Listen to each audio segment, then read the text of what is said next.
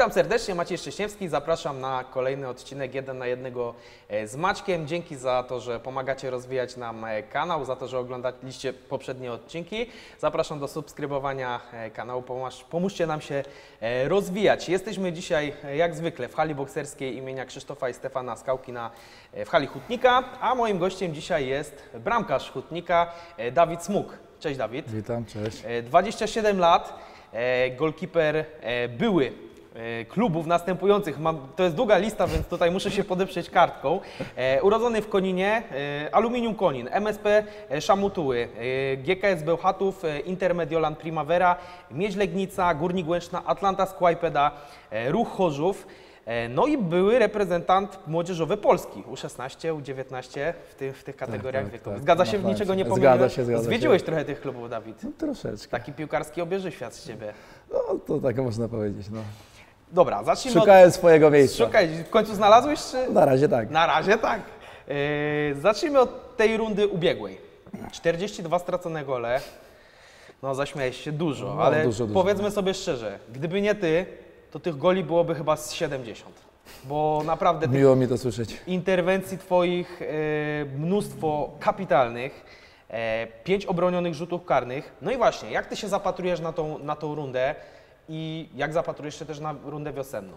Jak wspominasz to, co było na jesieni? Bo taki dysonans mam wrażenie, że z jednej strony ja też powiem szczerze, kopałem e, akurat na pozycji bramkarza, więc e, wiem jak to jest, że czasami masz taki dysonans. Z jednej strony no, postawa drużyny słaba, no bo dno tabeli, tak? Z drugiej strony, no ty perso- personalnie rzecz ujmując, no grałeś świetnie. Yy, No, tak już powiedziałeś, no bramki stracone na pewno tutaj nie mówię o tym, jak broniłem, tak, tak yy, to widać. Ciężkie pytanie za każdym razem. E, No ja starałem się robić swoje. Fajnie, że zostało to zauważone też przez kibiców, doceniane.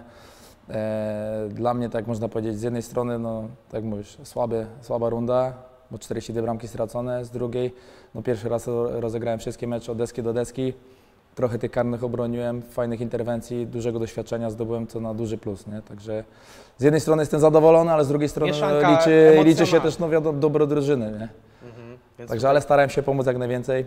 Nie, nie smak jest taki, ale Cel na wiosnę jest jeden. no utrzymanie, nie? No to i jak po tych, po tych paru sparingach już tak naprawdę e, zbliżamy się coraz e, bardziej do rozgrywek ligowych, do inauguracji na wiosnę. Mhm. E, jak czujesz? Jak to wygląda Twoim zdaniem? Nie cała drużyna naprawdę fajnie pracujemy. Każdemu widać, że tutaj e, wie jaką pracę musi wykonać na treningach.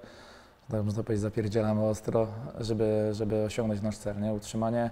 Widać duży e, tutaj progres, jeżeli chodzi o sparingi nawet. Gramy z pierwszą ligą, No gdzie nie odstajemy. Tak. Są momenty, gdzie my nawet przeważamy. Brakuje nam jeszcze trochę skuteczności, świeżości, bo cały czas no, mamy cykl treningowy przygotowawczy tutaj, gdzie jesteśmy jeszcze zmęczeni. Nie, nie na pełnym wypoczynku to gramy, tak? No właśnie, te sparingi całkiem, całkiem. Trzeba przyznać, że, że mam wrażenie, że wiecie z każdym sparingiem bardziej, co macie grać. Trener Szydełko tutaj chyba dużą e, wagę przykłada do taktyki, prawda? Tak, nie, na początku no, jest troszeczkę zmiana tej taktyki, także nie wszyscy wiedzieli jak się poruszać, dokładnie jak się zachować na boisku.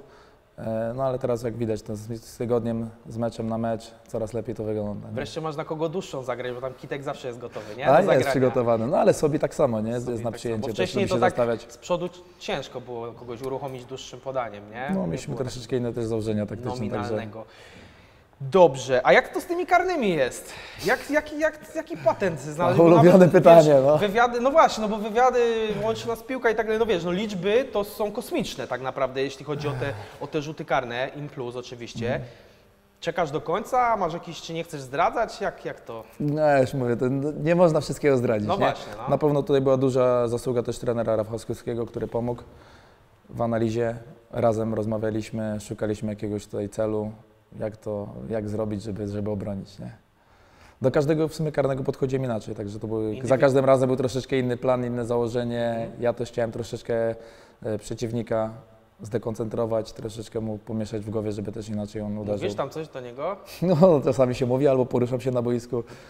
Także też, przed o, Jak się karnym. ogląda czasami mecze, to widać, że tam, wiesz, mówią do siebie coś No, bramkarz do, no, są zawsze do jakieś nie- niemiłe słowa czasami. Żeby zdekoncentrować, nie? No. Ale na, to też mi się wydaje taka trochę efekt kuli śnieżnej, nie? Że z każdym kolejnym obronionym, to z jednej strony ty czułeś się pewniej, A z drugiej strony y, ten gość, który strzelał, sobie myślę, kurde, to ten smug, ja pierdzielę, nie? Nie On wiem. już tyle wybronił tych karnych. Nie wiem, miejmy nadzieję, że tak. Nie? I oby było w tej rundzie jak najmniej ich. No, no, z jednej strony tak, ale pewnie jakby był, to pewnie i tak e, wybronisz. Mm, Dawid, no tak jak mówię, ja z perspektywy osoby, która, która gdzieś tam, ja z reguły przyglądam się bardziej bramkarzom, ze względu na to, że gdzieś tam mówię, no też Waldemar Kocoń, pozdrawiam serdecznie trenera tutaj szkoła na, e, na Hutniku, też e, gdzieś tam uczył mnie tej, tej, tej techniki bramkarskiej i tak dalej, także tutaj ja powiem szczerze, odkąd pamiętam na Hutniku, e, no, jesteś jednym naprawdę z najlepszych bramkarzy, jakie jacy tu grali. A śledzę rozgrywki Hutnika odkąd pamiętam, czyli odkąd miałem 7 lat, więc to jest naprawdę y, coś fajnego. No i właśnie, Hutnik jest dla Ciebie takim miejscem odbudowy, no bo nie ma się co też oszukiwać, że też patrząc na Twoją przeszłość, to, że mm, gdzie grałeś, do tego też zaraz wrócimy, e, ale też y, no, wydaje mi się, że Hutnik e, może być dla Ciebie taką dobrą e, trampoliną do wyjścia gdzieś wyżej, a kontrakt z tego co wiem, no nie jest jakiś bardzo długi, więc jak, jak Ty się na to zapatrujesz? Są jakieś propozycje, jest zainteresowanie? Nie wiem, na razie, na razie nic nie rozmawiałem, jedynie tutaj z klubem rozmawialiśmy, żeby wstępne rozmowy. Nie jakieś wierzycie. poruszone. Nie wierzycie. A, tutaj tak. No, e, ale no, powiedzmy tak, odbudować, no ciężko powiedzieć, tak naprawdę dopiero może dojrzałem, skoczyłem na ten wiek, taką stabilność złapałem, pewność siebie w tej bramce, bo ciężko powiedzieć odbudować się, no byłem gdzieś w Ekstraklasie, nigdy nie miałem szansy tak grać regularnie, w pierwszej lidze bronię w Miedzie Legnica, ale też jeszcze byłem tak jakby niedojrzałym bramkarzem, który miał duże zawahanie. Czy, czy, czy, czy, Psychicznie miał duże zawahanie mentalne, nie? że raz dobry mecz, tu jakiś błąd, brak koncentracji, to wszystko takie. Albo komuś palnąłeś po prostu z łokcia. A zdarzyło się A, też. zdarzyło się, W fajnie. ruchu orzów, tak. było. tak. Co to Było, był było za mecz? Ja sytuacji. pamiętam, powiem szczerze, y, bo akurat śmiesznie się złożyło, bo jak y, kiedyś miałem przyjemność komentować mecz o ruchu, to przygotowywałem się do następnego meczu i akurat Mhm. poprzednim meczem był ten, y, to spotkanie było, w którym Dawid Smuk dostał czerwoną kartkę z ruchem Zdzieszowice bodajże, tam remis Mhm. tak. 2 do 2. Tak, I tak, tak, tak. żeby nakreślić Państwu sytuację, to Dawid złapał piłkę chyba po strzale albo dośrodkowaniu, no Po i dośrodkowaniu rzutu jakiś rocznego. gamoń mu przeszkadzał w No tam wznowieniu dwu, jeden, drugi we mnie przepychał, gry, no trzeci wbieg. No i... dostał łokciem chyba, nie? Jakoś tak było. To nie było tak, że celowo. Chciałem go odepchnąć, no był niższy jeszcze przy zatrzymaniu się. Askier, czerwo, tak? Zostałeś wywalony z... Tak, dostał w twarz, niestety upadł na boisko. E, No i tu tak, tak jak mówiłem wcześniej, brak tak jakby mojej chłodnej, zimnej głowy. A wtedy też, żeby było się. mm, gorzej dla Ciebie, no to rywalizowałeś chyba z dwoma wychowankami ruchu, nie? Z Tak. Lechem i z Nowakiem. Tak jest. No i ta czerwona kartka tak trochę... No, wskoczyłem do bramki, fajnie było, dobrze broniłem. no, Skasowała ale cię, można powiedzieć, nie? Tak naprawdę dostał szansę młody Nowak, e, wykorzystał, Karnego wszedł, karnego bronił, tak. zremisowałeś mecz, kolejny w derbach też dobrze bronił. Wykorzystał swoje 5 minut, e, no ja musiałem potem czekać na. Czy to była taka sytuacja, która właśnie wpłynęła na to, że popracowałeś jakoś specjalnie nad, y, nad mentalem, nad y, jakoś bardziej mm, przyłożyłeś się do jakiejś pracy nad sobą, czy, bo mówisz, że dojrzałeś, prawda, jako, jako bramkarz, czego, jak, jak nad tym pracujesz, czy to po prostu samo Nie przychodzi? wiem, to tak, e, to mówię, fajnie, fajnie polegała moja współpraca tutaj z trenerem Skórskim, Mhm. gdzie też tak zimno, zawsze chłodna, zimna głowa, do tego podchodzi na spokojnie. Dobry Bez, specjalista. gorą, bez, goro, bez tak jak gorączki i tak dalej. Mhm.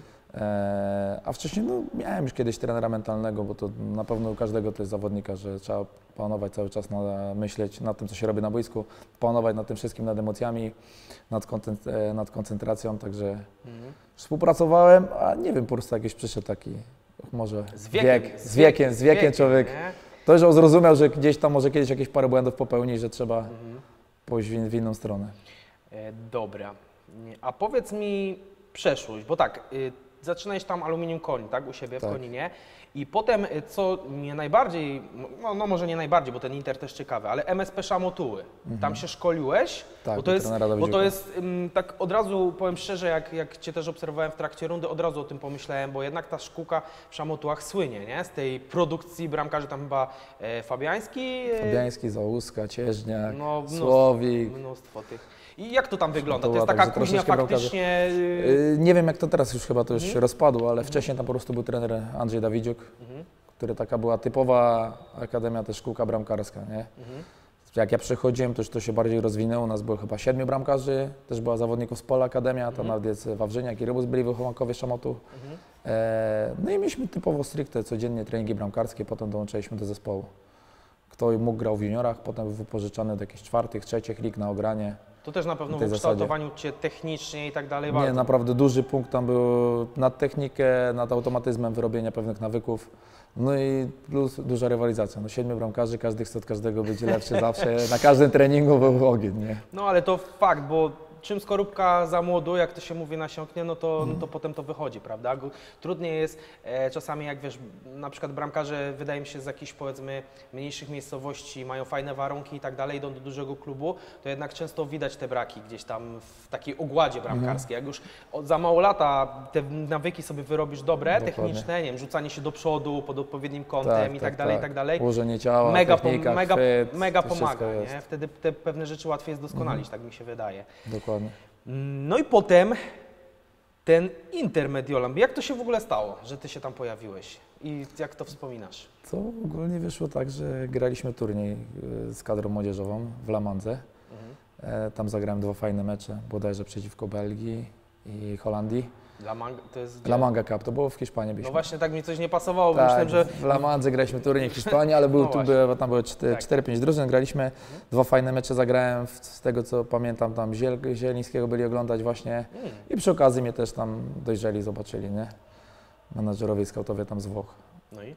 No, po prostu, no, pojechałem na testy do dwóch klubów, byłem w Niemczech. Tam widziałem zdjęcia, to troszkę dłuższe włosy miałeś, nie? Taki, A, ta, taki hełm miałeś taki trochę, hełm, tak, nie? ja śmieję jak Gwiezdnych Wojen. Nie No. przeszkadzało ci, nie Nie, zasłaniał nie, nie, właśnie mówię, wtedy inna głowa. E, Ale byłem, byłem, e, podpisałem potem z menadżerem umowę, byłem Mhm. na testach w dwóch klubach we Freiburgu. W Interze Mediolan dostałem dwa kontrakty tak naprawdę na rękę, gdzie mogłem pójść. No ale no Inter to Inter, no wielki klub, No. także było ciężko, ciężko było odmówić, nie? No i co, cztery mecze zagrałeś w Primaverze, tak? Z tego co... Tam Czy plus puchary, tak no można coś trochę więcej może. No i czemu tam nie zostałeś? E, to też jest taki fajny wątek odgrzewany. E, Nie chcesz, no, jak bo- nie chcesz, to nie. Nie, nie, jak najbardziej. E, Na początku miałem pierwszy rok takiej adaptacji, gdzie zapoznać się z językiem, z drużyną, zaklimatyzować Mhm. się. W drugim roku, jak już byłem, tam właśnie był ten pierwszy, gdzie te, tylko mało meczy, tak jakby byłem drugim bramkarzem. Czasami też trenowałem z pierwszym zespołem, jak byli po meczach, jakieś gierki, nie gierki. No właśnie taką historię miałem- gdzieś słyszałem, nie wiem czy to prawda, że został e, taki zawodnik e, znany gdzieś po treningu i ci wolne strzelał, to prawda jest? Tak jest, tak Taki jest. jak on się... Idź końc, idź końc, a Stankowicz, Stankow- a to ten znany, Tak, no i tak, co, tak. podziurawił cię słyszałem. O, tam 10 na 10 chyba. Tak? Ciężko? Tak, chyba jedna nie wpadła, bo w poprzeczkę trafił. Nie? Ale to też, kurde, ile miałeś lat wtedy? E, wtedy 18 lat miałem. To chyba niezła przygoda, nie? No, nie, no naprawdę fajne, fajne doświadczenie. Jeszcze miałem przyjemność ze Schneiderem trenować, także. e, No, a potem jak miałem zostać pierwszym bramkarzem, Mhm. e, niestety napoczął się kontuzja, nerw kulszowy. Ojej. Miałem prawie, prawie operację. E, tak z półtora miesiąca leżałem tylko w łóżku, nie byłem w stanie się ruszyć, byłem tak Mm. zblokowany.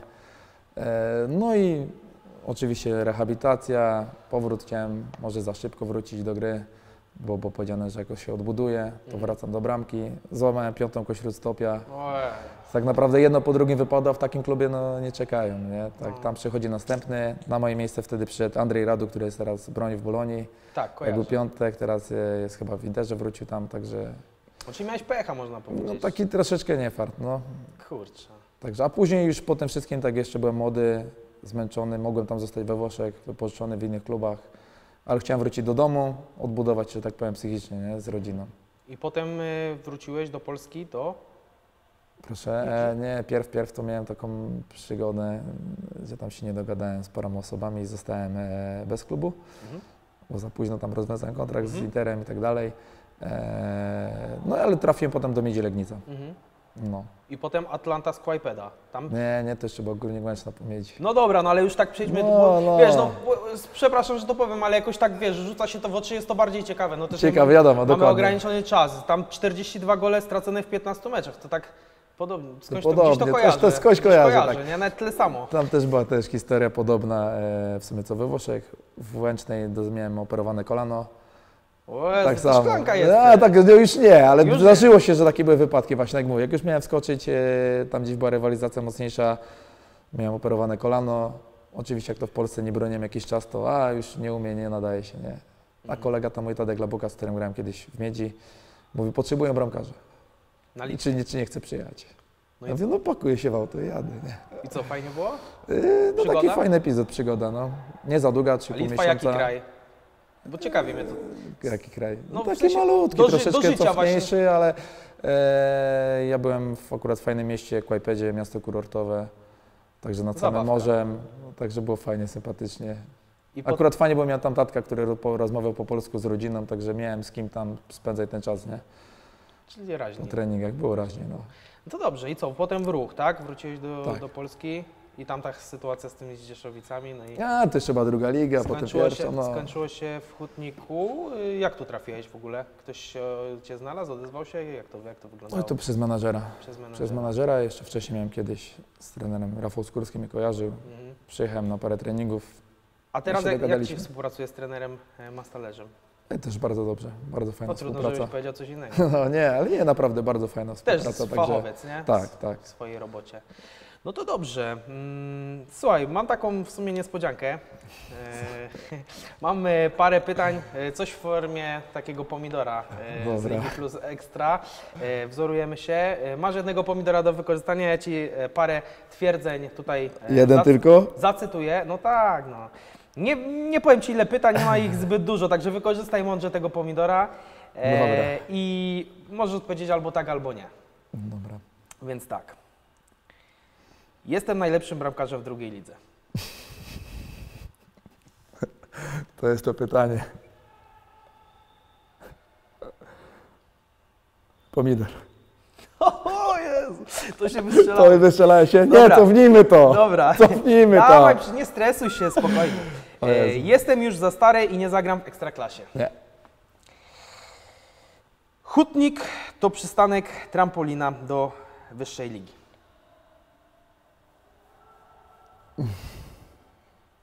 Tak. Jest spore zainteresowanie moją osobą po tej rundzie. Nie. Hutnik utrzyma się w drugiej lidze. Tak. A tu masz. To akurat proste. Eee, wyjazd do Włoch zawrócił mi w głowie. Tak. Gram lepiej na linii niż na przedpolu. Tak. Wolę wyjście na miasto niż wieczór w domu. Nie. Nie da się ukryć, że mam spore powodzenie u płci przeciwnej. Tak. Koniec. Koniec. Nie, nie, za, nie za dużo. Nie no słuchaj Dawid, jak sprawdzałem statystyki, No. kobiety w wieku 20 do 30 w Krakowie, na Instagramie najpopularniejsze wpisy, Dawid Smukutnik Kraków, chłopie. No, na pierwszym no. miejscu, naprawdę. Dokładnie, tak, na pewno. Dobra, Dawid. Dobre, dobre, bo się wystrzelałem na początku. Jeszcze ostatnie pytanko. Jakie, jakie cele sobie stawiasz? Co, no, pewnie zdrowie, nie? Biorąc pod uwagę Twoją historię. Dokładnie. I co? Nie, no najważniejszy cel mamy, chcę zagrać taką samą, jak nie lepszą rundę, jak poprzednią, no i utrzymanie w drugiej lidze.